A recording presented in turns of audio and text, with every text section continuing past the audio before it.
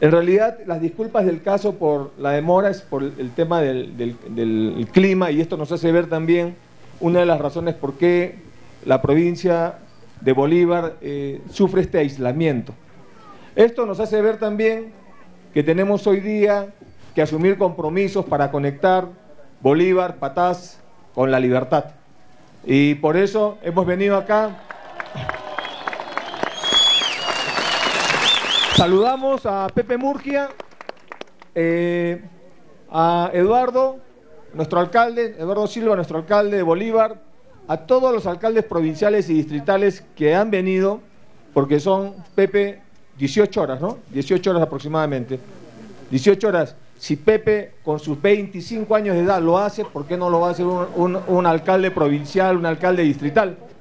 Entonces, saludamos el esfuerzo de, de los alcaldes que están aquí presentes, se han venido desde Casagrande, Pacasmayo, Julcán, Huamachuco, Quirubilca, ¿está Quirubilca? Bueno, ahí están todas las caras, ahí están todos, todos, todos los rostros. Lamento a los alcaldes que por diversas razones no han podido venir, entonces eh, hubiéramos querido estar con todos, pero justamente es el desafío de hacer un consejo de ministros descentralizados en una provincia que normalmente nadie le empelota. ¿No? ¿Por qué? Porque está, ni tiene carretera, hay que entrar por Cajamarca. ¿no? ahora que vengan, pues. Y venir con los ministros de Estado, está el, ministro de Economía y Finanzas, el ministro de Transportes y Comunicación. Bueno, están, están la mayor parte de ministros, están acá. Y ahorita nos vamos a, a sentar con los alcaldes a ver cuáles son los compromisos para la libertad en este, en este eh, periodo que queda todavía de gobierno para la conectividad de Bolívar con toda la región La Libertad, con proyección hacia, hacia Juanjuy, hacia San Martín, las carreteras que se tienen que hacer, los, las inversiones que se tienen que hacer en saneamiento. La Libertad es una de las regiones que hoy día muestra mayor crecimiento económico. Sin embargo, hay desigualdad en la libertad. Hay desigualdad porque hay zonas que no tienen agua y desagüe. Basta con eso para darnos cuenta que hay, que hay desigualdad. Y por eso queremos invertir en lo que es agua y desagüe y también queremos invertir en lo que es sobre todo educación. Me alegra ver colegios que justo hablaba con Pepe y me decía, y me decía que estos son centros que también han sido financiados por el gobierno regional y su gobierno municipal y vamos a seguir trabajando esto. Porque creemos que es fundamental la educación para cambiar la vida de, de nuestras familias. Eh, no podemos permitir que los jóvenes que nacen en Bolívar nazcan con desventaja con respecto a los que nacen en Trujillo, por ejemplo, y por no decir Lima. Porque aquí en Bolívar no tienen las la misma calidad de servicios ni tienen los mismos servicios que se tienen en Trujillo, que se tienen en Huamachuco o que se tienen en Lima. Por lo tanto, aquí hay que hacer doble esfuerzo para salir adelante. Eso es lo que está pasando hoy día. Y nosotros queremos acompañar, queremos también cargar el anda del Señor que están cargando ustedes. Queremos ayudarlos a cargar la cruz. Porque necesitamos que de aquí estos chicos salgan doctores, ingenieros, profesionales, que rompan el círculo de la pobreza. No podemos aceptar que la pobreza es una enfermedad que se hereda genéticamente, que se hereda de padres a hijos. Podemos romper eso. Y queremos decirles también a ustedes que este gobierno se caracteriza por recorrer el país. No creemos posible que se pueda gobernar la patria, todo el Perú, los 30 millones de habitantes, prácticamente 1.3 millones de kilómetros cuadrados, desde una oficina en Lima. No, señores, así no se puede gobernar. Como el alcalde no puede gobernar Bolívar desde la Plaza de Armas de Bolívar, tiene que recorrer los distritos. Como el presidente regional tiene que recorrer sus provincias, el presidente de la República tiene que recorrer las regiones y yendo, aterrizando en las provincias que son las más olvidadas. Eso que dicen de que los últimos son los primeros, eso lo queremos cumplir. En este gobierno nacionalista, los últimos serán los primeros. Es por eso que hoy día venimos con una serie de propuestas que hemos venido trabajando con su presidente regional, con sus alcaldes, con los ministros, en temas de diferentes áreas. Por ejemplo, yo podría señalar algunas cositas en transportes y comunicaciones, pero acá está Carlos, que creo que mejor que yo lo, quiere decir, ha estado hace rato pidiéndome la palabra. Entonces, Carlos, no seas, bueno, toma, no seas tímido. Gracias, presidente. Amigos, solamente una cosa breve. Cumpliendo instrucciones del presidente, hoy día en el Consejo de Ministros vamos a anunciar el compromiso del gobierno para terminar los estudios definitivos e iniciar las obras a mitad del próximo año de la carretera Calemar-Abra-Naranjillo. Esa es una, una de las obras para la región La Libertad. Son más de 1.200 kilómetros los que vamos a intervenir con una inversión solamente en transportes y comunicaciones de 1.679 millones de soles. Eso, entre otras cosas, son las que hoy día venimos a compartir con ustedes y a escuchar sus necesidades adicionales para asumir compromisos en pos del desarrollo, no solamente de Bolívar como ahora, sino de la región y del país. Muchísimas gracias. Muy bien, Carlos. Entonces ha venido con, con algo que ofrecer. Pero también en agricultura tenemos que avanzar. Hoy día hemos avanzado y hoy día, Pepe, queremos firmar el contrato de Chavimochic, tercera etapa. ¿Qué te parece? a ver, Juan Manuel, a ver, para que lo Así es, presidente. Hoy día estamos aquí para firmar uno, un, contrato con, para culminar la tercera etapa del proyecto Chavimochic. Esta tercera etapa que va a permitir dar 150 mil puestos de trabajo, que implica una inversión de 677 millones de dólares que tiene además la, posibilidad de incorporar a la agricultura 63 mil hectáreas y va a mejorar 48 mil hectáreas más.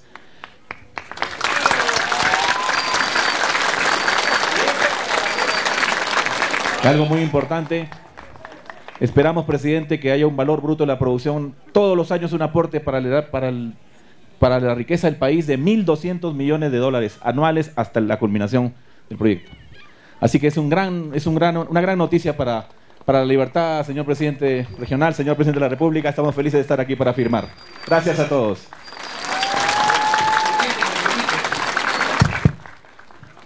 Eh, pueblo de Bolívar, nuevamente. Ustedes representan también a la libertad. Acabamos de escuchar dos cosas para mí extraordinarias, especialmente cuando pensamos en la planificación integral de un territorio.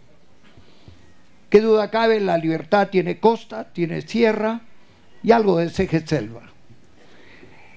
El proyecto que ha anunciado el ministro de Transportes es justamente para esta zona, para la zona de Sánchez Carrión, de Sánchez Carrión y Bolívar, y para la integración vial de nuestro departamento que tantos años veníamos reclamando, porque ese tramo de Calemar Abra del Naranjillo es parte de la carretera Salaverry Juanjuí, una, una aspiración peruana, no necesariamente liberteña. Pero se va concretar aquí la firma de un proyecto de irrigación en la costa del Perú. Esto también es importantísimo, porque el desarrollo tiene que ser integral. El territorio tiene que desarrollarse en forma integral. Costa, sierra y la ceja de selva que tenemos. El proyecto, la tercera etapa del proyecto Chadimochic nos ha costado, señor presidente, permítame decirle a la población, nos ha costado, nos ha costado siete años de trabajo, al igual que los estudios de la carretera de la carretera Calemar Abre Naranjío que nos ha costado al gobierno regional cinco años de trabajo. Es que entendemos que debe de ser así. Las cosas tienen que ser con estudios. Las cosas se tienen que aprobar en las instancias que deben de ser aprobadas. Había que tener paciencia. Y aquí quiero hacer un agradecimiento. Un agradecimiento que este proyecto que se venía desarrollando desde hace siete años al asumir la presidencia el presidente Ollanta, voy a contar una pequeñita anécdota. A los cinco días de haberse sentado en Palacio, en la silla de Palacio, recibí una llamada telefónica. Y me dijo, presidente, quiero que me alcance dos ayudas memorias. La carretera Salaverry Juanjuí y el proyecto Chaimochic. Las ayudas memorias que le alcancé, presidente, las guardo de recuerdo. ¿Y cómo no la voy a guardar de recuerdo si hoy día ya son una realidad? La carretera, una realidad. Y el proyecto Chavimochic, por su dimensión, por su tamaño, por su impacto en la economía nacional, es el más grande proyecto de inversión pública que se hará en la región La Libertad probablemente en el siglo XXI. Valió la pena sacrificarse siete años. Valió la pena sacrificarse cinco años. Mi eterna gratitud, presidente, porque la decisión del presidente fue sin mirar color político. Eso también es otra de las cosas que tenemos que resaltar esta tarde. Y es que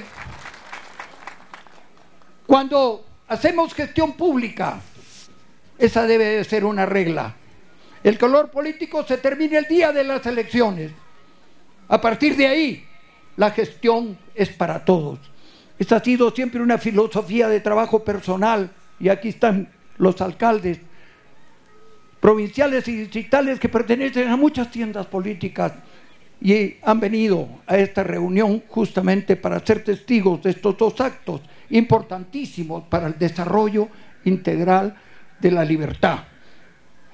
¿Qué podemos decir frente a eso? Les voy a pedir a ustedes que con todo calor gritemos que vive el Perú, que viva la libertad, que viva Bolívar y que viva todo el ande liberteño.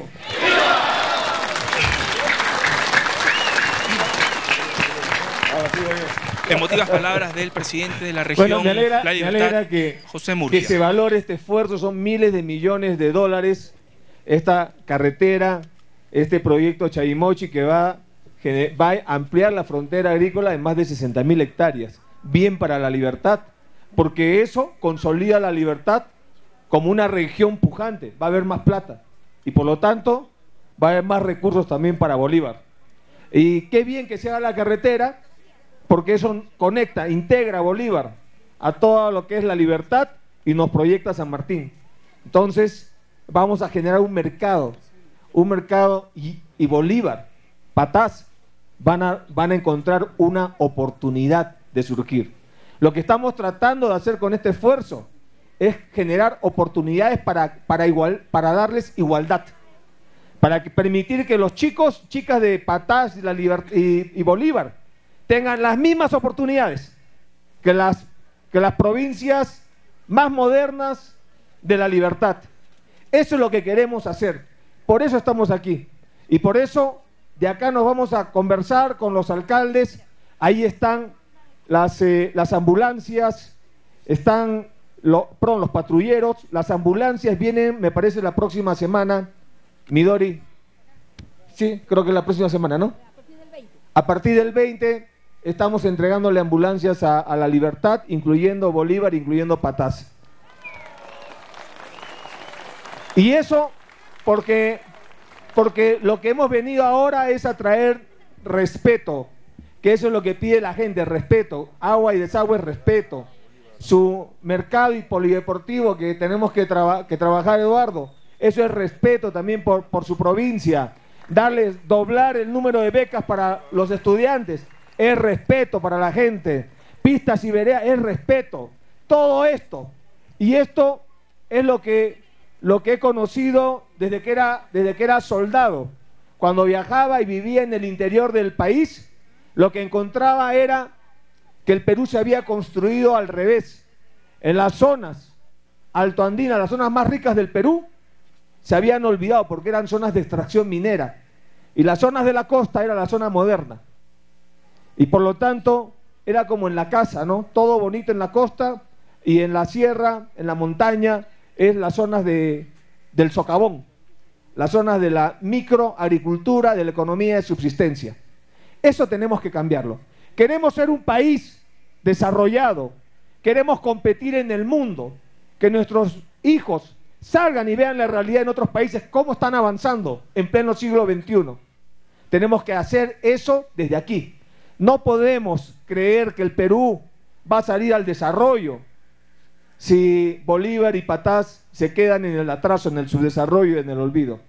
Por eso hay que venir acá y empujar y trabajar juntos con su alcalde, sin pelearnos, con su presidente regional, sin pelearnos. No podemos darnos el lujo de pelearnos porque no hay tiempo que perder. Cinco años es poquísimo tiempo. Y ustedes han esperado tanto, han esperado décadas, han esperado generaciones de tener algo. Por eso es que la gente muchas veces es, escéptica, ¿no? No confía en los políticos, ¿no? Como dicen, ¿no? Eh, cielo serrano, cojera de perro, palabra de político no has de creer, ¿no? Algo así es, ¿no? bueno, nosotros entendemos, yo lo entiendo porque yo entré a la política dejando mi carrera militar, así que no tengo formación de político, pero sí sé por dónde hay que atacar las cosas y mi enemigo hoy día es la pobreza. Mi enemigo hoy día es la desigualdad, la desnutrición. Mi enemigo hoy día es la falta de respeto que se le, que se le da la espalda a la familia peruana. Porque nacieron en el interior del país, porque no tienen plata, porque la educación fue un instrumento para excluir y separar a la gente, para crear desigualdad. Porque le doy buena educación a los que tienen plata y que sobrevivan los que no la tienen. Porque como el Perú es exportador de materias primas, no se requiere muchachos con educación de calidad, sino mano de obra barata. Eso tenemos que cambiarlo.